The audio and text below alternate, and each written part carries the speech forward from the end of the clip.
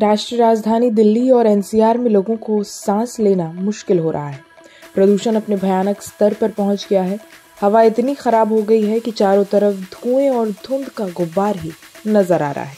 दिल्ली ही नहीं, गुरुग्राम और नोएडा में भी हवा एकदम से जहरीली बन गई है। गुरुग्राम और नोएडा के कई इलाकों में एयर क्वालिटी इंडेक्स 500 के पार चला गया है।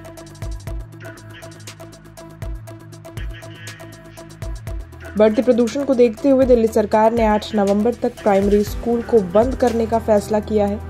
साथ ही, सरकारी दफ्तरों में 50 फ़ीसद वर्क फ्रॉम होम का आदेश जारी किया गया। हालाँकि इसके बावजूद बढ़ते प्रदूषण के चलते लोगों का दम घुट रहा है। संभव है कि जल्द ही सरकार और जीवन का आदेश ला सकती है।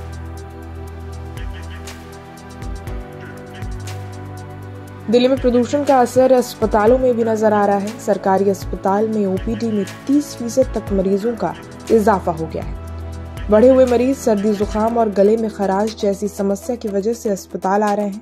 डॉक्टरों की माने तो सर्दी, जुकाम और गले में खराश की वजह बढ़ता प्रदूषण है।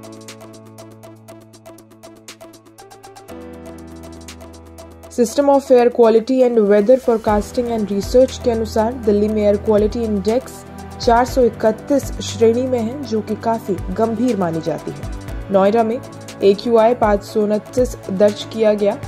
ये प्रदूषण की गणित में बहुत ही खतरनाक स्तर है।